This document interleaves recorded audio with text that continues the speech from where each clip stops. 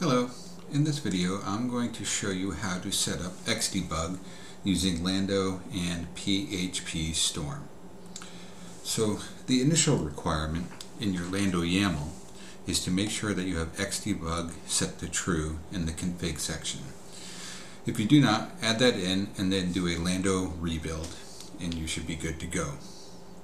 With that started, the first thing we're going to do in PHP Storm in this project is come up to File, Settings, you'll be in the language PHP, and as you can see here, you'll see all this nonsense.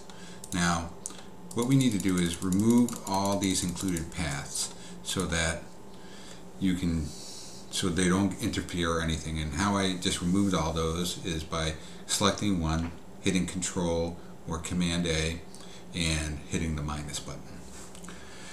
What we need to do is come up here and I know from my uh, Lando YAML that I'm in PHP 7.2 so I'm going to set that here and then I'm going to hit the three little dot button next to the CLI interpreter.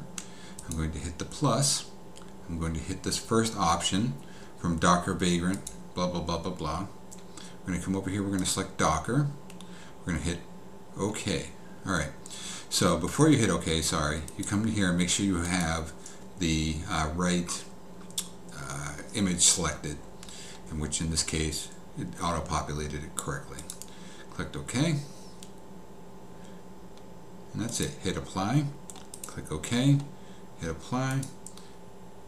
Click OK. Come over here. So I'm gonna I'm gonna set a uh, debug point now so that this will capture where we're at. And how you do that, I usually use this t equals 1. I set a breakpoint by clicking in this margin, and I come up here and click this button. That's telling me to listen. Now, if I come over here, you'll see this happen. Now what's going on is that it caught the server. We're going to go ahead and accept this. And as you can see, it already is working. However, what we need to make sure is that everything is set up properly on this, um, that the paths are, my, are mapped properly. And in this case it is. We wanted to make sure that it says slash app um, on here. And actually, since we're using composer-based setup, it's better to do this. Come up here, just click on that, hit slash app, and hit enter, and you should be good to go. Apply that, and you can debug away. Alright? So yeah, this will look messed up, but make sure our uh, thing is turned back on and come over here and you'll see it spin and that usually means that our breakpoint is stopped and then you can do all the fun things that you need to with Xdebug and debug all your applications. So